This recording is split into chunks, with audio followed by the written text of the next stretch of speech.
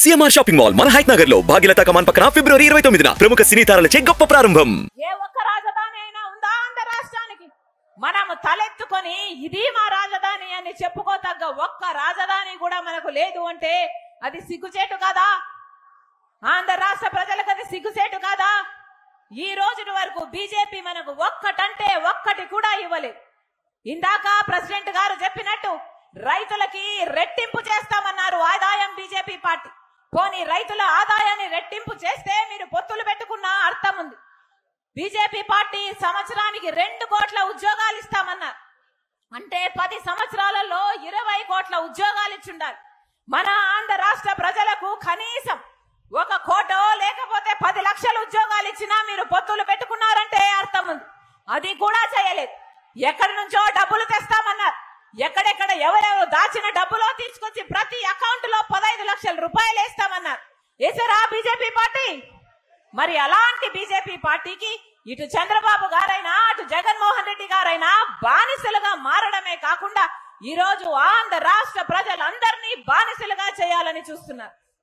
ఇది ఎక్కడి న్యాయం అని అడుగుతున్నాం. ఇది ఎక్కడి న్యాయం అని అడుగుతున్నాం చంద్రబాబు గారు సమాధానం ఈరోజు ఈ రోజు బీజేపీ పార్టీతో పొత్తులు పెట్టుకోవడానికి మీరు సిద్ధమయ్యారు.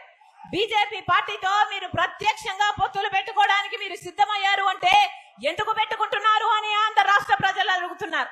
మనకు ప్రత్యేక హోదా ఇచ్చినందుకు పెట్టుకుంటున్నారా? మనకు పోలవరం ప్రాజెక్ట్ ఇచ్చినందుకు పెట్టుకుంటున్నారా? మనకు రాజధాని ఇచ్చినందుకు పెట్టుకుంటున్నారా? లేకపోతే కనీసం మనకు ఏ ఒక్క వాగ్దానమైనా నిలబెట్టుకునేందుకు చంద్రబాబు గారు పొత్తులు పెట్టుకుంటున్నారా ఆంధ్ర రాష్ట్ర ప్రజలకు సమాధానం చెప్పి మరీ ఓట్లు అడగడానికి రావాలి చంద్రబాబు గారు మరోవైపు జగనన్న గారిని కూడా అడుగుతున్నా. బీజేపీ పార్టీకి రాజశేఖర్ రెడ్డి గారు ఎన్నిసార్లు వ్యతిరేకించలేదు. రాజశేఖర్ రెడ్డి గారు ప్రతి అవసరం వచ్చిన ప్రతిసారి అవకాశం వచ్చిన ప్రతిసారి బీజేపీ పార్టీని వ్యతిరేకించలేదా? ఎందుకంటే బీజేపీ పార్టీ ఒక మత తత్వ పార్టీ కాబట్టి. మతం పేరుతో చిచ్చు పెట్టడం ఆ మంటలో చలి కాచుకోవడం. ఇదే కదా బీజేపీ పార్టీకి తెలిసిన రాజకీయం. ఒక మతాన్ని అవమానించడం ఇంకో మతాన్ని రెచ్చగొట్టడం. ఇదే కదా బీజేపీకి తెలిసిన రాజకీయం. అందుకే కదా రాజశేఖర రెడ్డి గారు అంతలా బీజేపీ పార్టీని వ్యతిరేకించారు. ఇదే కదా బీజేపీ పార్టీ ఒక గోత్రాయినా ఒక మణిపూర్ ఘటనైనా ఇదే కదా నిరూపిస్తున్నాయి. అలా రాజశేఖర రెడ్డి గారు బీజేపీ పార్టీని ప్రతిసారి వ్యతిరేకించారే. మరి అలాంటి బీజేపీ పార్టీతో ఆయన కొడుకై ఉండి జగనన్న గారు ఎలా పరోక్షంగా పొత్తులు పెట్టుకున్నారో అక్రమంగా ఎందుకు పొత్తులు పెట్టుకున్నారో ఆంధ్ర రాష్ట్ర ప్రజలకు సమాధానం చెప్పాల్సిన అవసరం జగనన్నకుంది ఒక్క మాట అంటే ఒక్క మాట అయినా నిలబెట్టుకోలేకపోయాడు జగనన్న గారు రాజశేఖర్ రెడ్డి గారు మాటిస్తే మాట తప్పని మడమ తిప్పని నాయకుడు రాజశేఖర్ రెడ్డి గారు. రాజశేఖర్ రెడ్డి గారు రైతులను ఎంత బాగా చూసుకున్నాడు?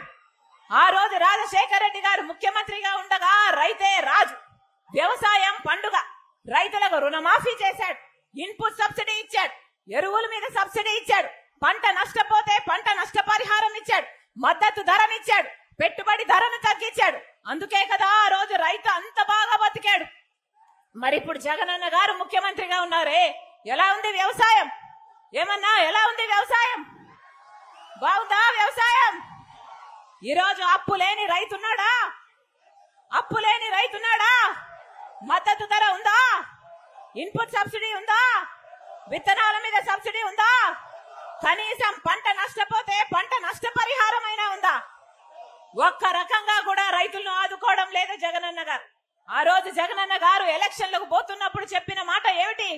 మూడు వేల కోట్లతో నేను రైతుల కోసము రైతుల మద్దతు ధర కోసము ఒక స్థిరీకరణ నిధి ఏర్పాటు చేస్తానన్నాడు జగనన్న గారు.